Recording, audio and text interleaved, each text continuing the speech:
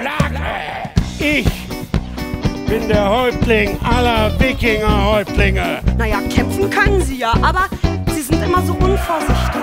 Ja. Yo, hey. Ho. Ja. Das äh, ist der schreckliche Sven, nicht wahr? Ja, Vicky. Und er hat diesen Namen nicht umsonst, der Hallunke. Schlimme Seeräuber, schlimmer als wir.